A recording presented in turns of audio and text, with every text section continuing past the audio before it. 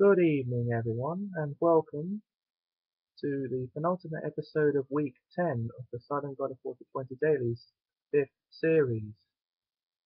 Now, here's what I've got to report on for today.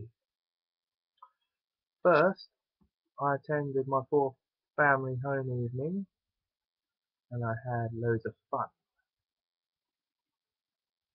Tonight's activity was chair, uh, chair football. And believe it or not, it's a really fun game to play. I played through all three rounds of it. Of course, this is taking part that counts at the end of the day. It doesn't matter if you win the game or not.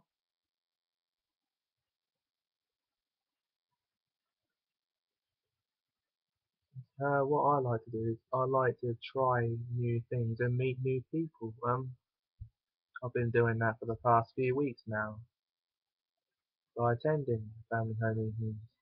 Uh, also, another thing I should have reported on last night was my other film came in the mail yesterday. Yeah, God's Army.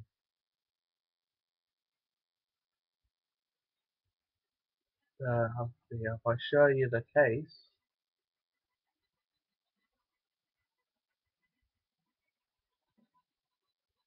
But it's on the shelf, so that means I'd have to get it down.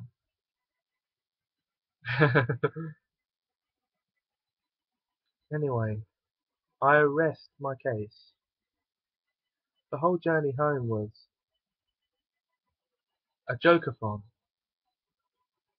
Uh, I actually have this joke in mind that I was going to tell him, but it didn't come out. I'll tell it to you now, guys, and see what you think. Um, two male Mormon missionaries were in a classroom of 30 11 to 12 year olds and they were trying to talk to them. They were trying to give a talk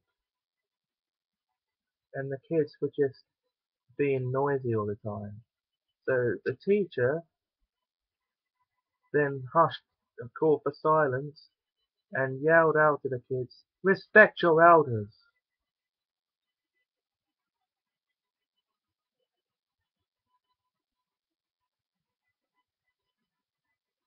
Anyway, I'm not going to laugh at that because it's my own joke.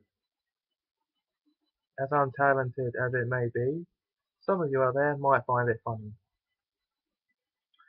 Uh, that's it for tonight. I'll see you again tomorrow and join me over on the Monthly Shows channel for tonight's episode of Bats.